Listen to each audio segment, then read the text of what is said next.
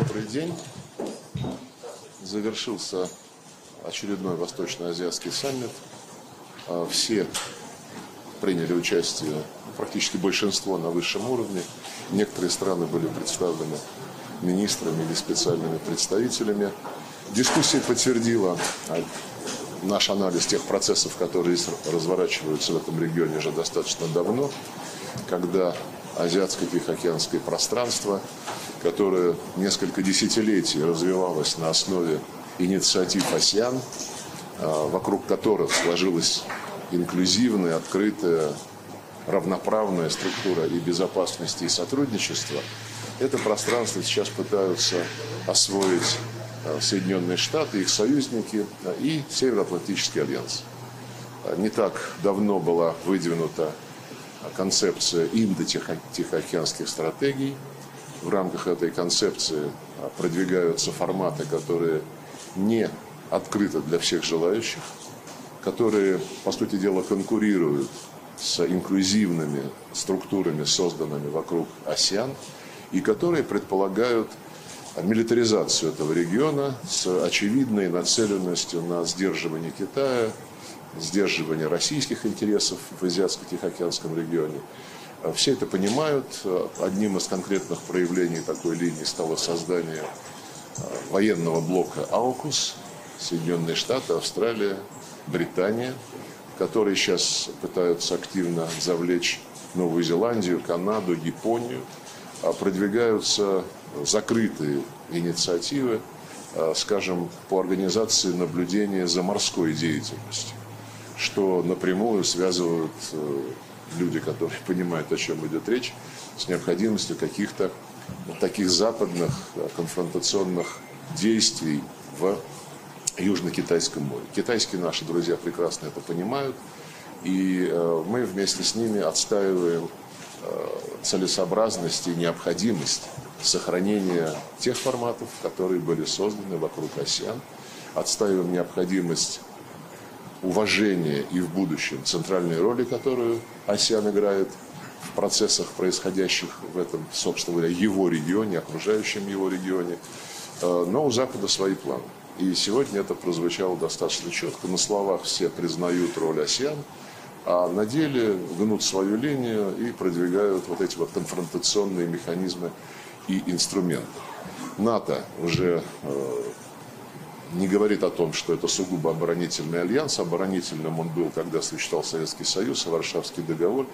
С тех пор они вот эту свою линию обороны, когда уже ни Варшавского договора нет, ни Советского Союза, непонятно от кого они оборонялись, они эту линию обороны передвигали вплотную к нашим границам несколько раз, а теперь объявили вот, на Мадридском саммите летом этого года о том, что они несут глобальную ответственность, и о том, что безопасность Евроатлантики и Индо-Тихоокеанского региона неделима. То есть они, по сути дела, претендуют на то, что они будут играть здесь ведущую роль, и так называемую линию обороны уже сдвигают э, к восточно, к Южно-Китайскому морю. А, и налицо тенденция к милитаризации региона а, путем э, сопряжения усилий здешних союзников США, Австралии, Новой Зеландии, Японии с э, расширением присутствия здесь НАТО. А мы все это откровенно сказали. Китайский э, премьер-министр Ли Кэцян э, тоже изложил свои оценки, которые идут в одном русле с нашими. Но, к сожалению, к сожалению, едва ли это настроит США и их союзников на Э, учет интересов э, большинства стран, которые здесь расположены.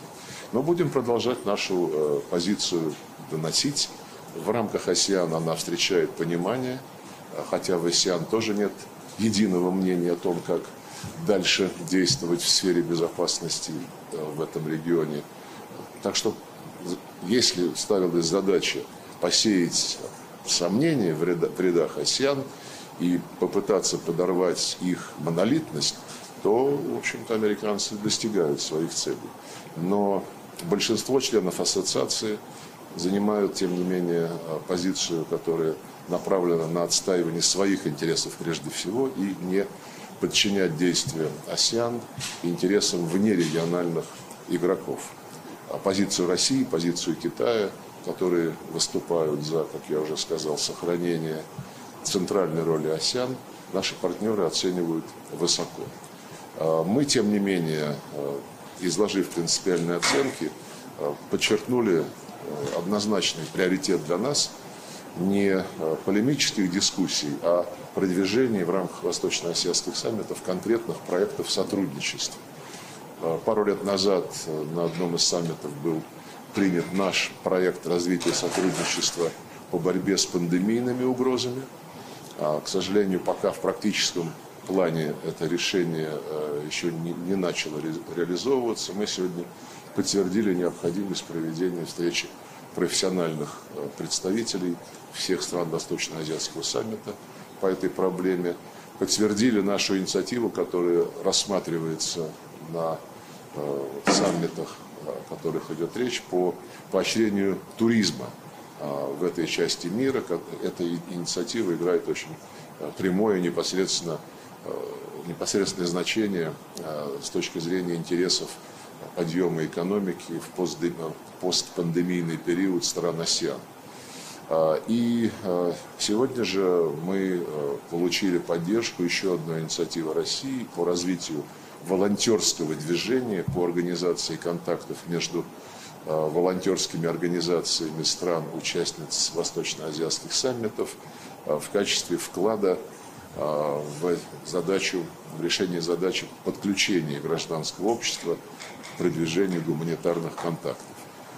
Ну вот, собственно говоря, и все, да, каких-либо э, коллективных решений э, сегодня принято не было, э, поскольку э, Соединенные Штаты и их западные коллеги настаивали на абсолютно неприемлемом языке в отношении ситуации на Украине и вокруг нее. Поэтому вот все то, о чем я рассказываю, о направлениях дальнейшего сотрудничества, будет отражено в, э, в коммюнике, который выпустит председательство Камбоджи от своего имени. Спасибо.